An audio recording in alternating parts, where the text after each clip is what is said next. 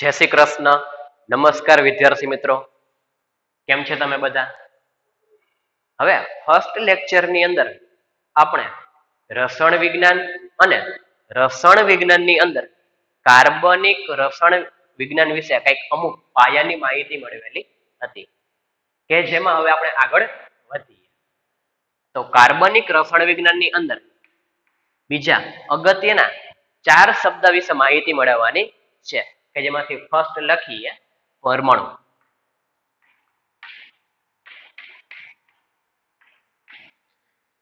તો પરમાણુ કેને કહેવામાં આવે છે? તો જોઈએ. Carbon, nitrogen, oxygen, sulphur, boron, hydrogen. આ બધાને શું કહેવામાં આવે છે?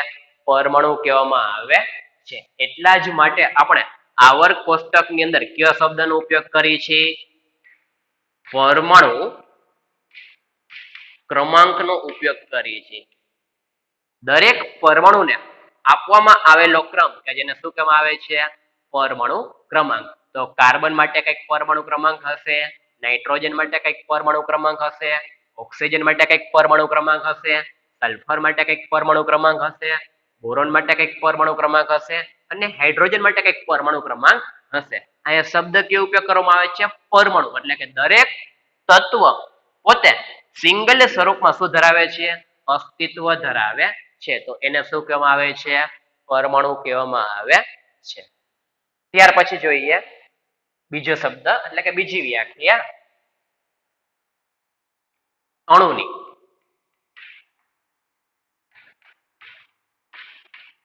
અણુ કેને કહેવામાં આવે છે. પરમાણુ અને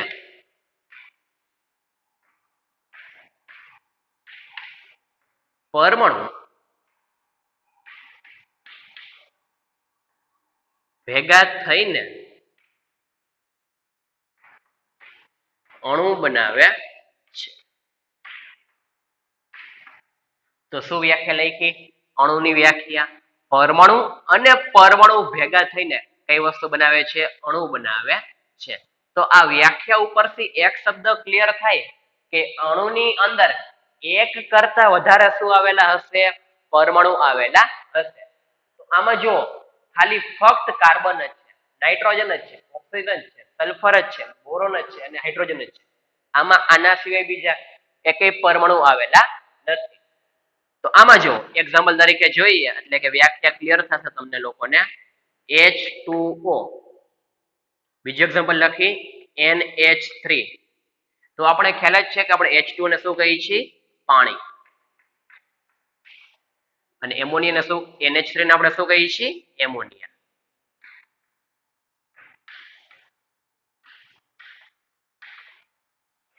પાણીની અંદર એક ઓક્સિજન પરમાણુ બીજા કેટલા હાઇડ્રોજન પરમાણુ સાથે જોડાયેલો છે? બે. તો એક ઓક્સિજન પરમાણુ. બીજા કેટલા હાઇડ્રોજન પરમાણુ સાથે જોડાયેલો છે? બે હાઇડ્રોજન પરમાણુ સાથે જોડાયેલા છે. એટલે કે પાણીની અંદર એક કરતા વધારે પરમાણુ આવેલા છે. અહીંયા જોઈએ એમોનિયામાં. એમોનિયામાં એક નાઇટ્રોજનની અંદર કેટલા હાઇડ્રોજન પરમાણુ આવેલા છે? ત્રણ હાઇડ્રોજન પરમાણુ આવેલા છે ઈ કે એક નાઇટ્રોજન અને ત્રણ હાઇડ્રોજનથી કેનું નિર્માણ થાય છે? એમોનિયા, એટલે કે NH3 નું તો આપણે એવું કહી શકીએ, પરમાણુ અને પરમાણુ ભેગા થઈને કેનું નિર્માણ કરે છે? અણુનું નિર્માણ કરે છે. અથવા તો આપણે એવું પણ કહી શકીએ કે અણુ બનાવવા માટે કેની જરૂર પડે છે? પરમાણુની જરૂર પડે છે. પરમાણુ વગર આપણે ક્યારેય અણુ બનાવી શકીએ નહીં. તો આ વ્યાખ્યા અને એક્ઝામ્પલ હતા કે કેને પરમાણુ કહેવામાં આવે છે અને કેને અણુ કહેવામાં આવે છે. જોઈ લ્યો એક ફરે. ત્યાર પછી આગળ વધીએ. ત્યાર પછી ત્રીજી વ્યાખ્યા જોવાની છે.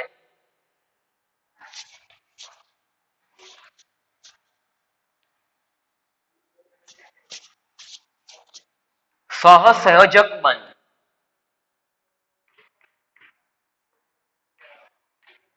સહ સંયોજક. બંધ. તો જો શબ્દ જ આવી ગયો, બંધ. તો આપણે બંધ એટલે કે શબ્દ યાદ આવે કે બ્રિજ. આપણે જોઈએ છીએ કે માની લો કે મારી પાસે કોઈ પણ એક પોઈન્ટ એ છે અને બીજો પોઈન્ટ બી છે.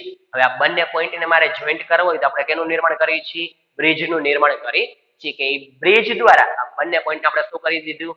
જોઈન્ટ કરી દીધું. તો બસ એના જેવું જ કંઈક છે કે બંધ એટલે કે બ્રિજ. બ્રિજ શું કરશે? કાં પરમાણુ. અને પરમાણુ. અથવા તો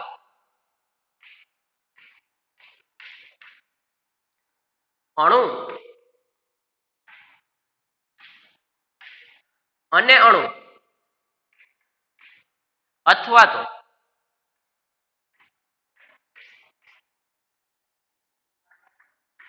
અણુ અને પરમાણુ.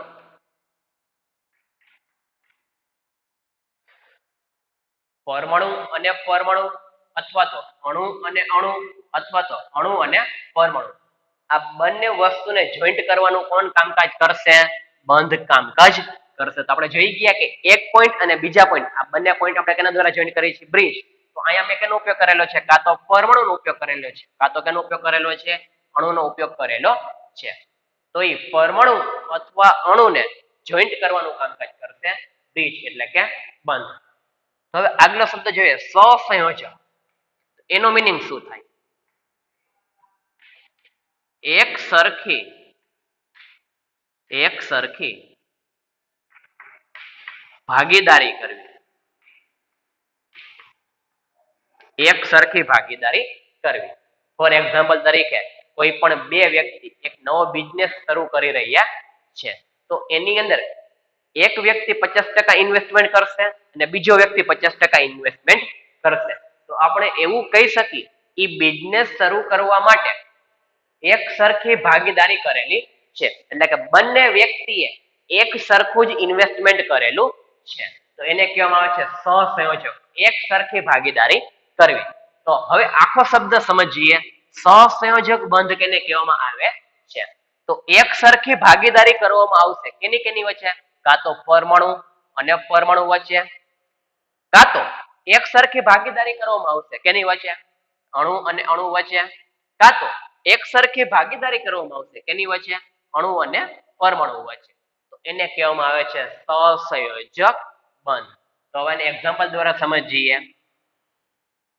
ફોર એક્ઝામ્પલ તરીકે મારી પાસે છે પરમાણુ એ અને બીજો છે પરમાણુ બી પરમાણુ એ અને પરમાણુ બી વચ્ચે સહસંયોજક બંધ કેવી રીતના બને અને કઈ રીતના ભાગીદારી કરે એના વિશે કંઈક માહિતી મેળવીએ. જોઈ લ્યો આટલી વસ્તુ.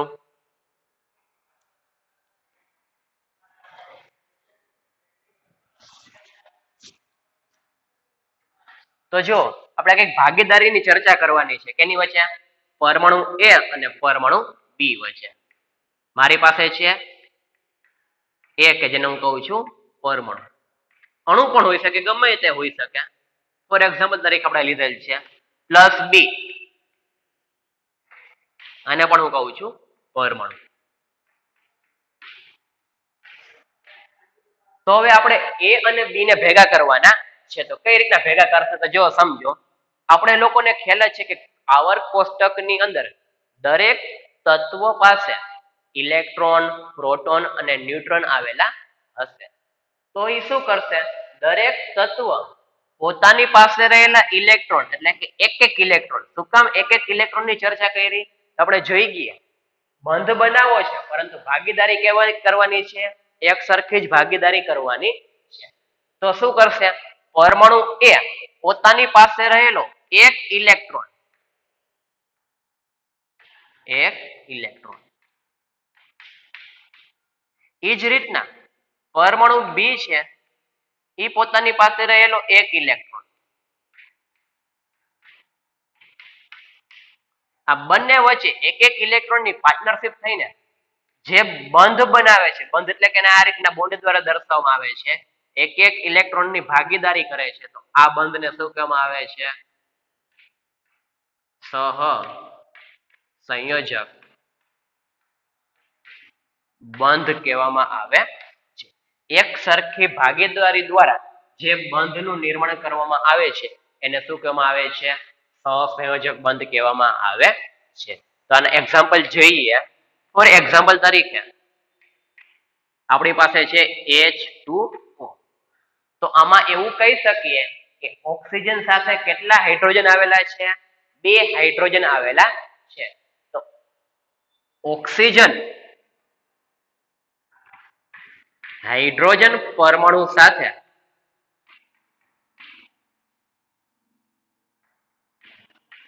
કેટલા સહસંયોજક બંધ બનાવવામાં આવે છે? બે સહસંયોજક બંધ. બે સહસંયોજક બંધ. બનાવ્યા છે ઓક્સિજન સાથે કેટલા હાઇડ્રોજન છે? બે. બે હાઇડ્રોજન હોવાથી સહસંયોજક બંધની સંખ્યા કેટલી થાય? બે. એ જ રીતના બીજું એક્ઝામ્પલ લઈએ, એમોનિયા. એટલે કે NH3 કે જેને આપણે કહેશી એમોનિયા.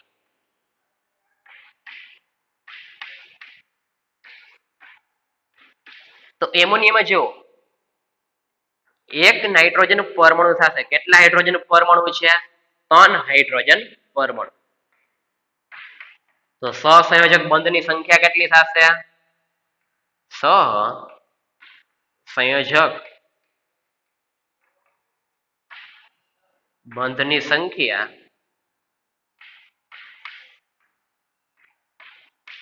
કેટલી થશે? ત્રણ. તો પાણીની અંદર બે સહસંયોજક બંધ બને છે અને એમોનિયાની અંદર કેટલા સહસંયોજક બંધ બને છે? ત્રણ સહસંયોજક બંધ બને છે કે જેની અંદર ઓક્સિજન અને હાઇડ્રોજન. અને આમાં નાઇટ્રોજન અને હાઇડ્રોજન દ્વારા એક સરખા ઇલેક્ટ્રોનની ભાગીદારી થઈને બંધનું નિર્માણ કરે છે કે જે બંધને કહેવામાં આવે છે સહસંયોજક બંધ. તો શરૂઆતમાં આપણે જોઈ ગયા, અણુ વિશે માહિતી મેળવી, ત્યાર પછી પરમાણુ વિશે માહિતી મેળવી, ત્યાર પછી કેના વિશે ચર્ચા કરેલી છે? સહસંયોજક બંધ વિશે ચર્ચા કરેલી છે. ત્યાર પછી જોઈએ વિસ્થાપન કેને કહેવામાં આવે છે? કાર્બનિક રસાયણ વિજ્ઞાનમાં વિસ્થાપન પણ ખૂબ જ અગત્યનો શબ્દ છે કે જેના વિશે માહિતી હોવી જરૂરી છે. તો વિસ્થાપન કેને કહેવામાં આવે છે?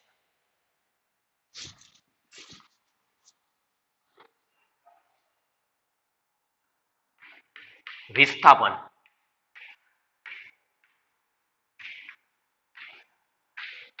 વિસ્થાપન એટલે વિસ્થાપન વિશે માહિતી મેળવવી. વિસ્થાપન એટલે કે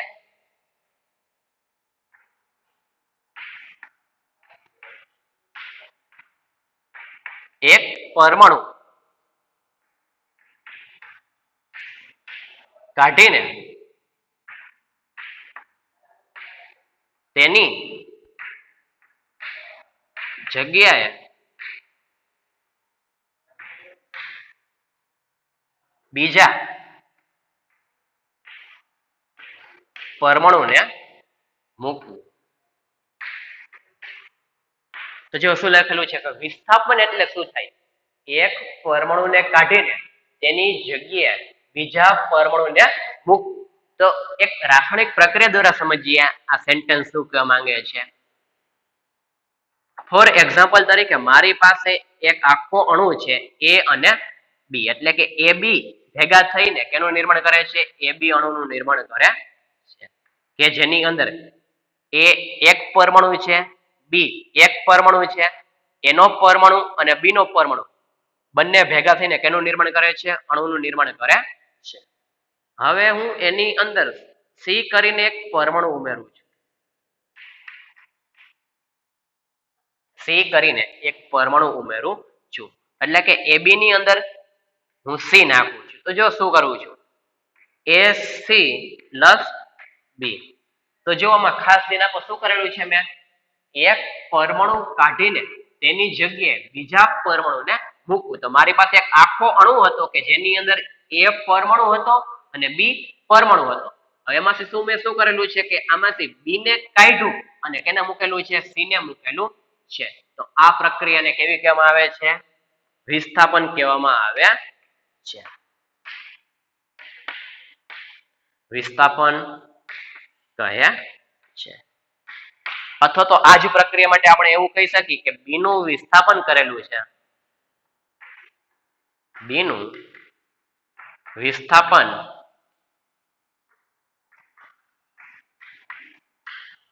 કરેલ છે કેના દ્વારા?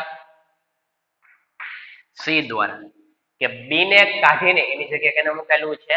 સી ને તો. આ પ્રક્રિયાને શું કહેવામાં આવે છે? વિસ્થાપન કહેવામાં આવે છે કે જે આપણે કાર્બનિક રસાયણ વિજ્ઞાનની અંદર આપણે ઘણી બધી જગ્યાએ વિસ્થાપન શબ્દ આડો આવશે. એટલા માટે આપણે એની માહિતી લીધી કે એક પરમાણુ કાઢીને એની જગ્યાએ કેને મૂકવો? બીજા પરમાણુ કે કે જેનું આપણે એક એક્ઝામ્પલ પણ લખેલું છે. હવે પરમાણુની જગ્યાએ અણુ પણ હોઈ શકે. એવું કમ્પલસરી નથી કે એક પરમાણુને જ કાઢવો. એ પરમાણુની જગ્યાએ કોઈ પણ અણુ હોય, એ અણુને કાઢીને એની જગ્યાએ બીજી કોઈ પણ વસ્તુને મૂકી તો એને પણ શું કહેવામાં આવે છે? વિસ્થાપન કહેવામાં આવે. તો હવે કાર્બનિક રસાયણ વિજ્ઞાનની અંદર જ્યારે ઘણો સમય પહેલા એટલે કે શરૂઆતમાં કાર્બનિક રસાયણ વિજ્ઞાનનું નિર્માણ થઈ રહ્યું હતું ત્યારે ખૂબ જ ઓછા પ્રમાણની અંદર કાર્બનિક સંયોજન આવેલા હતા. એટલે કે કાર્બનિક સંયોજનની સંખ્યા કેવી હતી? સાવ ઓછી હતી. હવે જેમ જેમ સમય પસાર થતો ગયો તેમ તેમ ઘણા બધા કાર્બનિક સંયોજનનું નિર્માણ થયું. હવે ઘણા બધા કાર્બનિક સંયોજનનું નિર્માણ થયું તો વાસ્તવિક છે કે દરેક કાર્બનિક સંયોજનનું આપણે શું કરવું પડે? નામકરણ કરવું પડે. એટલે કે એને કંઈક નામ આપવું પડે કે જે દરેક દેશની અંદર ઈ પરમાણુને, એટલે કે ઈ અણુને એક ચોક્કસ નામના સ્વરૂપમાં ઓળખવામાં આવે. તો એના માટે હવે કંઈક આપણે કઈ રીતના કોઈ પણ કાર્બનિક સંયોજનનું નામકરણ કરવું એના વિશે કંઈક આગળ માહિતી મળે અસ્તુ જય હિન્દ.